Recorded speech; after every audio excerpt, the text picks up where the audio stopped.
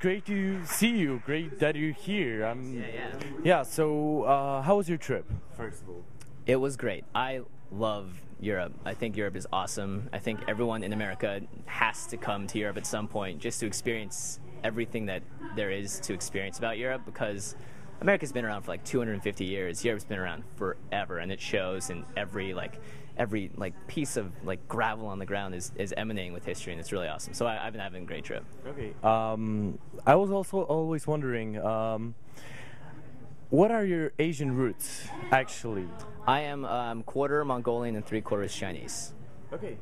And I'm gonna tell you, I was really surprised and amazed how you did this Mario song for the. Well, Mario song was awesome, but the reason you did it, and um, you know about this tragedy in in Japan.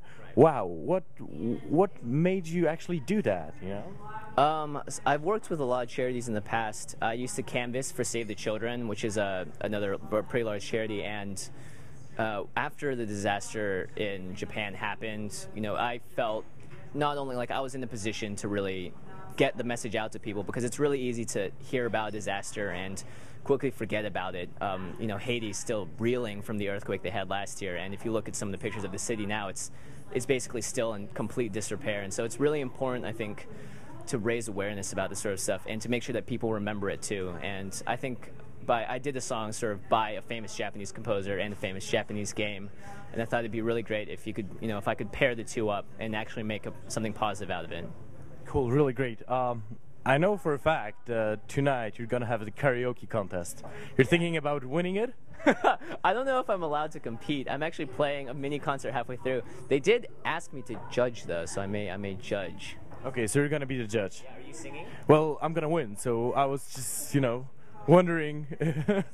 I, I was wondering, do I have a competition? So, Oh no no no! If if you're competing, then you're probably gonna win. right. Well, Send me some money. I'll make sure I'll make sure you do well. how long are you're gonna stay in Poland? Uh, I'm here until Monday. I leave Monday morning, but I'd love to stay longer. Warsaw. We went to the old town today, and it's amazing there. It's so beautiful. Okay, well, you know, you're always welcome here, thanks. and just just email me. You know, if you wanna come and visit, you're welcome. Uh, it was great to meet you.